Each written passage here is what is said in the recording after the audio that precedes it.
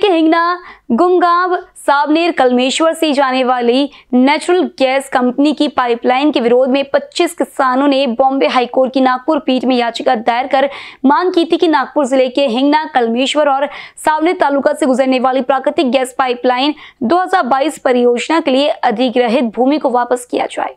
केरल राज्य की तर्ज पर 10 गुना मुआवजा दिया जाए। हाईकोर्ट ने इस मामले में डिस्ट्रिक्ट कोर्ट में जाने की सुनवाई दी है। यह मामला काफ़ी गर्म हो चुका है। किसान और प्रशासन आमने सामने आई हैं। इस मामले में गुरुवार को पुलिस द्वारा पाइपलाइन जाने वाले खेतों में बंदोबस्त रखा गया था। जब खेत मालक किसान अपने अपने खेत जाने निकले तो उन्हें पुलिस ने अपने हिरासत में ले लिया और किसानों को वाड़ी पुलिस थाने लाया गया। किसानों का कहना है कि जो ज़मीन से पाइपलाइन जा रही है, उस ज़मीन का योग्य मुआवजा मिलने मांग बताई। गेल इंडिया लिमिटेड कंपनी की सीएनजी गैस पाइपलाइन, तालुका के गुमगांव, दातला, शिवमड़का, धनोली, सुमथाना, गिरोला आदि गाँवों के खेतों से होकर गुजर रही है। यह पाइपलाइन ज़मीन में 20 फीट गहरी होगी। यहाँ के किसानों को एक साल पहले नोटिस मिला था, इस पर किसानों ने केरल राज्य की तर्ज पर मुआवजे की मांग की थी, लेकिन कंपनी ने इस पर कोई कार्रवाई नहीं की।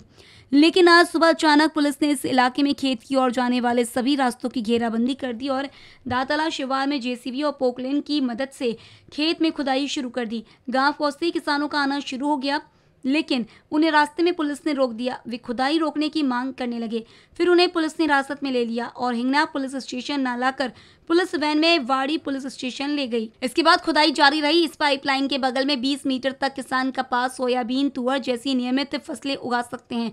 संतरा मौसम्बी के बगीचे नहीं लगाए जा सकते। किसानों से कहा गया कि इस जगह पर कोई निर्माण नहीं किया जा सकता। वाड़ी पुलिस थाने, केतन, मीणे तनेश झाड़े, संजय टेकाड़े, लोकनाथ चिचुलकर, रविंद्र वानखेड़े, तेजराज मुन, दीपक दुबे, नामदेव कुम्भारे एकनाथ कुम्भारे मेघराज चिंचुलकर, रिद्धेश्वर साठवड़े, राजेंद्र भुसारी, कुणाल देवतले, उमेश भलमे, मंगेश भल में शुभम साठवणे किसान को लाया गया मौजूद किसान खेत मालिक ने उप मुख्यमंत्री देवेंद्र फडणवीस और जिलाधिकारी डॉक्टर विपिन इटंकर पर नाराज़गी व्यक्त की। साथ ही कंपनी के हिसाब से काम हो रहा है और किसानों पर जुल्म होने का किसानों ने बताया। किसान केतन मेड़े को हिरासत में लेते वक्त हिंगना पीआई विशाल काले ने उसके साथ अभद्र व्यवहार करने का मेड़े ने बताया। केतन की कॉलर पकड़कर तुझ पर और अपराध दर्ज करता हूँ, ऐसा पीआई काले को केतन ने बोला। ऐसा किसान केतन मेड़े का कहना है। इसके बाद कांग्रेस नेता बाबा आष्टानकर कोतेवाड़ा ग्राम पंचायत के पूर्व सरपंच रविंद्र आष्टानकर ने वाड़ी थाने में किसानों से मुलाकात की। वैसे ही किसानों का पक्ष सुने बिना गेल कंपनी ने खुदाई शुरू कर दी। उन्होंने यह भी आरोप लगाया कि प्रशासन भी दबाव में काम कर रहा है। गेल इंडिया लिमिटेड कंपनी का खुलासा इस संबंध में गेल कंपनी के अधिकारी विवेक पदमवार से फ़ोन पर संपर्क किया गया। तो उन्होंने कहा, पारिश्रमिक और मुआवजे का मामला राजस्व विभाग का है और कलेक्टर उचित निर्णय लेंगे इस संबंध में। ऐसी प्रक्रिया देकर गेल कंपनी ने राजस्व विभाग की ओर अपनी गेंद फेंक दी। माझ्या शेतातून गॅस पाईपलाईन चालली आहे. ही नोटीस आले होते आम्हाला. आज सकाळी अचानक फोन आला माझ्या एक शेतकरी बंधूचा. त्यांनी म्हटले की सगळं पोलीस प्रोटेक्शन लागलं आहे जवळपास शंभर दीडशे पोलीस आहे. आणि सगळ्या जे गॅस पाईपलाईनवाले प्रोटेक्शन घेऊन काम करत आहे. आणि तुझ्या शेतामधून स्टार्ट करत आहे. तर मी तसंच लगेच माझी टू व्हीलर घेऊन तिथे गेलो. तर तिथे पोलीसवाले म्हणाले की हा रोड बंद आहे आज तुम्ही इथून जाऊ नाही शकत जेव्हापर्यंत काम होत नाही. मी म्हटलं का नाही जाऊ शकत? माझी तर शेती आहे मला जाणं गरजेचं आहे शेतात मी रोजच जातो. तर नाही आज जाऊ नाही शकत रोड बंद आहे तुम्हाला जायचं असेल तुम्ही बाजूने वगैरे जा. तर मी बाजूच्या शेतानं धु धुरा घेत घेत माझ्या शेतापर्यंत कंपाऊंड वॉलपर्यंत पोहोचलो. तिथे काळेसाहेब वगैरे पी आय होते.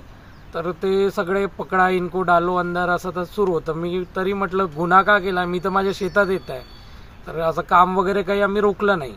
पण मग एकदमनी सगळे आले पकडलं कॉलर पकडून म्हणे चल म्हणे थोडंसं दोन गोष्टी झाल्या की का असं जबरदस्ती का करत आहे?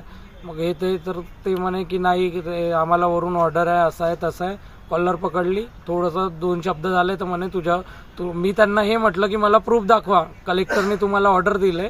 तर गोष्टी अशा झाल्या होत्या की तुम्ही दाखवा माझ्या शेताचा ऑर्डर असेल तर तुम्ही दाखवा काम करायचा.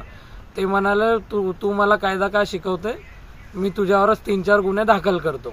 असे पकडून कॉलर पकडून मला गाडीपर्यंत घेऊन गेले आणि डायरेक्ट गाडी हिंगण्याला न नेता वाडी पोलीस स्टेशनला आणला आणि इथे आम्हाला सतरा अठरा लोकांना जमा केला.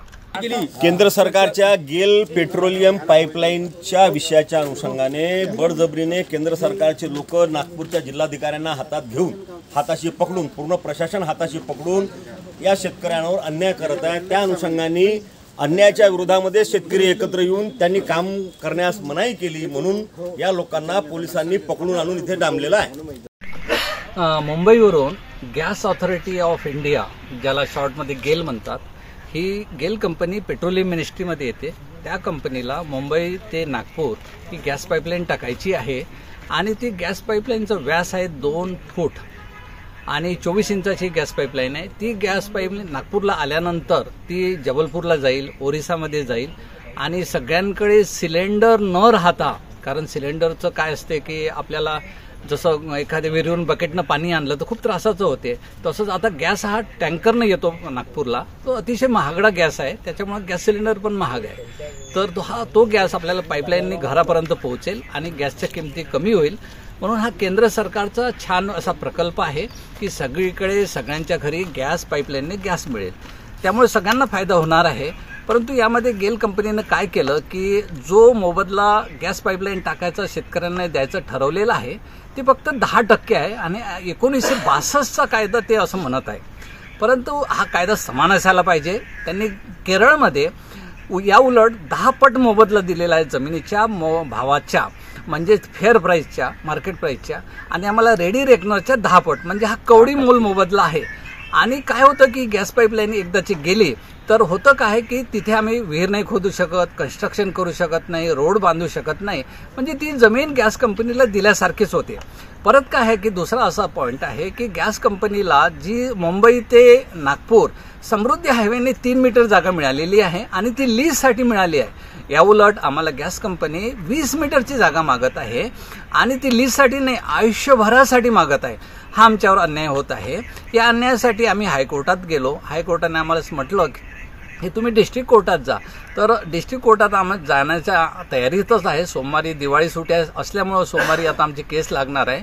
परत आम्ही काय केलं की केरळमधून वकील आणले की केरळचे वकील जे आहेत ज्यांनी मोबदला दिलेला आहे ते वकील उद्या फ्लाईटनंच नागपूरला पोहोचत आहे आणि त्यांना आम्ही आमची केस लढण्यासाठी सांगत आहे. त्यांचं नाव टी आर एस कुमार आहे. वाड़ी से बीसीएन न्यूज के लिए संवाददाता की रिपोर्ट.